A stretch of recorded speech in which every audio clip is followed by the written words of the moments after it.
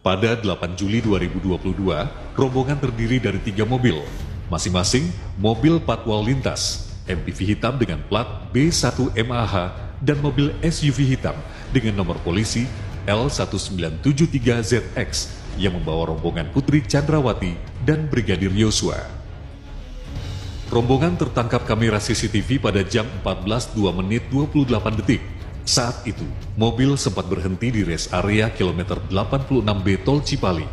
Pada jam 14 lebih 3 menit, terlihat Brigadir Yosua mengenakan baju berwarna putih keluar dari mobil SUV warna hitam dengan nomor plat L1973ZX menuju toilet. Tiga menit berikutnya, rombongan mulai bergerak meninggalkan lokasi rest area menuju arah ke Jakarta.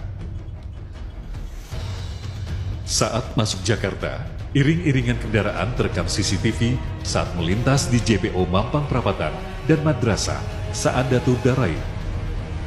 Sementara dari rekaman CCTV di rumah pribadi Verdi Sambo di Jalan Saguling 3, real time CCTV pada jam 15.29 menit 57 detik, tampak Verdi Sambo memasuki rumah dengan pakaian seragam dinasnya.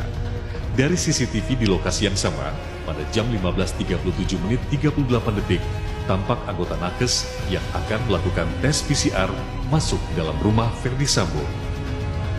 Kemudian, pada jam 15 lebih 40 menit 47 detik, mobil MPV hitam yang digunakan Putri Chandrawati juga tiba di rumah Jalan Saguling 3. Jam 15.41 menit 29 detik waktu Indonesia Barat, merekam Putri Chandrawati masuk ke dalam rumah mengenakan sweater hijau dipadukan celana legging hitam Diikuti aktivitas ajudan memasukkan barang-barang ke dalam rumah tersebut.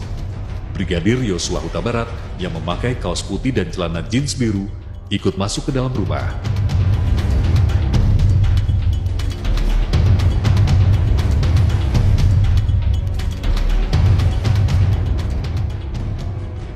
Kemudian, terlihat Putri Chandrawati melakukan tes swab PCR di teras rumah.